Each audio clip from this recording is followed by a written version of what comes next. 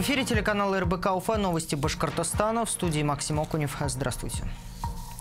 Ростех станет одним из главных партнеров Евразийского научно-образовательного центра. Базовые договоренности по проекту достигнуты между Башкортостаном и государственной корпорацией. Вопросы совместного сотрудничества глава республики Ради Хабиров и индустриальный директор авиационного кластера Ростеха Анатолий Сердюков обсудили на первом заседании Межведомственной комиссии по вопросам взаимодействия региона и госкорпорации. Ради Хабиров отметил, что предприятия Ростеха внесли значительный вклад в рост индекса промышленного производства производства республики.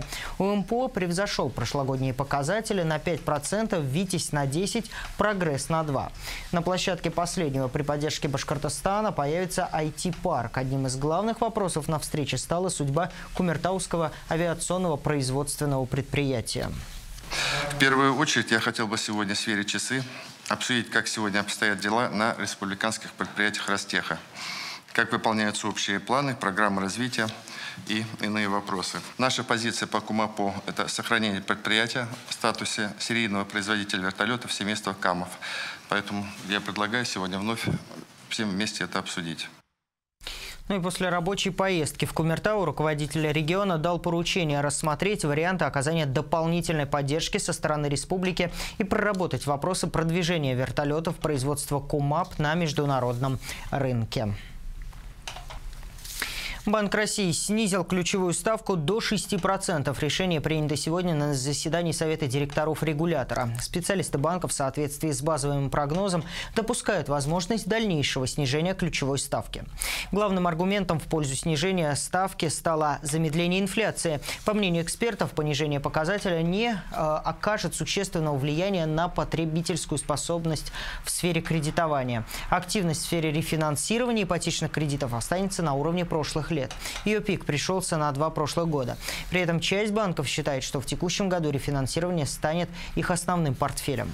Ну, если они ранее выдавали по очень высоким ставкам, то сам Бог велел. И, соответственно, заемщикам надо пробовать, пробовать. Я всегда рекомендую, если есть возможность рефинансироваться, идите рефинансируйтесь. Если ставка отличается хотя бы на полтора-два процента ниже, обязательно пишите в банке и активнее добивайтесь снижения ставки. Ну и Банк России снизил ключевую ставку уже шестой раз подряд. Регулятор начал снижать ее более полугода назад и опустил в общей сложности на полтора процентных пункта. Цены до сих пор на это заметно не отреагировали. В этом году в Башкортостане увеличит количество квот на проведение бесплатных процедур ЭКО и криопереноса. На эти цели из региональной казны направят 83 миллиона рублей. Как рассказал телеканалу РБК УФА, заведующий отделением вспомогательных репродуктивных технологий Республиканского медико-генетического центра, речь идет о выделении 850 дополнительных квот для жителей Башкортостана. Эти меры направлены на повышение рождаемости и улучшение репродуктивного здоровья населения. Ранее этот вопрос поднимался на президиуме правительства республики.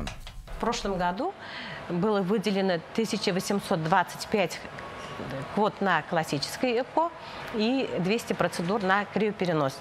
В этом году на 2020 год выделено такое же количество квот.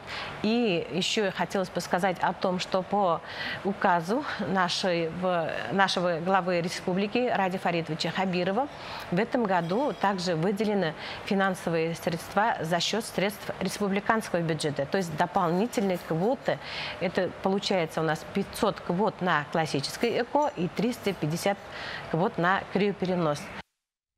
В России программа экстракорпорального оплодотворения вошла в программу обязательного медицинского страхования в 2013 году. За это время в Башкортостане по ОМС провели 7015 процедур ЭКО и 350 процедур криопереноса.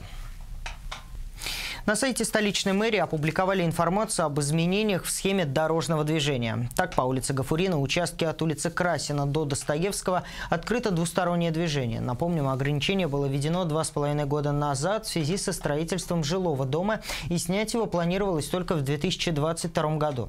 А вот на участке улицы Красноярской движение транспорта закроют до конца 2021 года. Это связано также со строительством многоквартирного дома. Запрещающие знаки появятся на участке участке от створа жилого дома номер 40 до створа дома номер 30. И на этом наш выпуск подошел к концу. Оставайтесь на телеканале РБК Уфа.